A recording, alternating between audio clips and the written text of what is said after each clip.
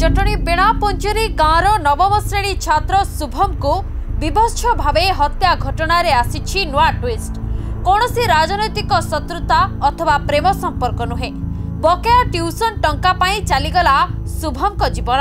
ପାଞ୍ଚ ହଜାର ଟଙ୍କା ପାଇଁ ନବମ ଶ୍ରେଣୀ ଛାତ୍ର ଶୁଭମଙ୍କ ହତ୍ୟା କରିଛି ଦ୍ୱାଦଶ ଶ୍ରେଣୀରେ ପଢୁଥିବା ଆଉ ଜଣେ ନାବାଳକ।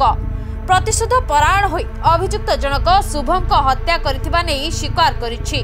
ଘଟଣାସ୍ଥଳରେ ସାଇଣ୍ଟିଫିକ୍ ଟିମ୍ ପହଞ୍ଚି ଛାନଭିନ୍ ଆରମ୍ଭ କରିଛି ଦୋଷ ସ୍ୱୀକାର ପରେ ନାବାଳକ ଅଭିଯୁକ୍ତ ଜଣକୁ ଜୁଭେନାଇଲ୍ ଜଷ୍ଟିସ୍ ବୋର୍ଡକୁ ପଠାଇ ଦିଆଯାଇଥିବା ନେଇ ସୂଚନା ଦେଇଛନ୍ତି ଡିସିପି ପ୍ରତୀକ ସିଂ ତାକୁ ପଚରା ଉଚରା ଯେତେବେଳେ କରାହେଲା ଆ, ସେ କନଫେସ୍ କରିଛି କି ଆ, ଇଏ ଘଟଣା ଆ, କରିବା ପଛରେ ଆ, ତାର ହାତ ଅଛି ଆଉ ମୋଟିଭ୍ ଜାଣିବାକୁ ଯେତେବେଳେ ଆମେ ତାକୁ ପଚାରିଲୁ ଆ, ସେ କନଫେସ୍ କରିଛି କି ଆ, ସେ ଆଗରୁ ଆ, ଆ, ସେଇଠି ଡିସିଜ୍ଡର ମା ବାପାଙ୍କ ପାଖରେ ଟ୍ୟୁସନ୍ ପଢ଼ୁଥିଲା ଆଉ କିଛି ପଇସା ତାର ବାକି ଥିଲା ସେ ପଇସାକୁ ସେମାନେ ଯେହେତୁ ବାରମ୍ବାର ତାକୁ ଆ, ମାଗୁଥିଲେ ଆଉ ସେ ଦେଇପାରୁନଥିଲା ପବ୍ଲିକଲି ତାକୁ ଆ, ଗୋଟେ ହ୍ୟୁମିଲେସନ୍ ଟାଇପ୍ର ହେଉଥିଲା ତାକୁ ଖରାପ ଲାଗୁଥିଲା ଆ, ଯେତେବେଳେ ବି ତାକୁ ବାରମ୍ବାର ସେମାନେ ପଇସା ମାଗୁଥିଲେ ଆଉ ସେହି ରାଗରେ ସେଦିନ ସେ ଘରକୁ ଯାଇକି ଆ, ସେ ଆସଲ୍ଟ କରିଛି ଆଉ ଡିସିଜ୍ଡକୁ ଗୋଟେ ଛୁରା ମାଡ଼ କରିକି ତାକୁ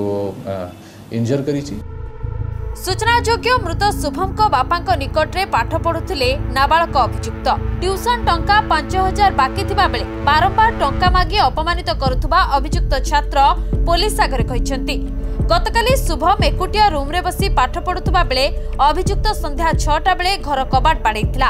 ଶୁଭମ କବାଟ ଖୋଲିବା ପରେ ଅଭିଯୁକ୍ତ ଜଣକ ଜୋର ଜବରଦସ୍ତ ଭାବେ ପଶି ଶୁଭମଙ୍କ ଉପରେ ଆକ୍ରମଣ କରିଥିଲା। ପରିବାର ଲୋକେ ତାଙ୍କୁ ରକ୍ତ ଜୁଡୁବୁଡୁ ଅବସ୍ଥାରେ ଉଦ୍ଧାର କରି ଡାକ୍ତରଖାନାରେ ଭର୍ତ୍ତି କରିଥିଲେ। ସେଠାରେ ତାଙ୍କୁ ଡାକ୍ତର ମୃତ ଘୋଷଣା କରିଥିଲେ। ଘଟଣାସ୍ଥଳରୁ ଗୋଟିଏ ଛୁରୀ ଉଦ୍ଧାର କରାଯାଇଛି।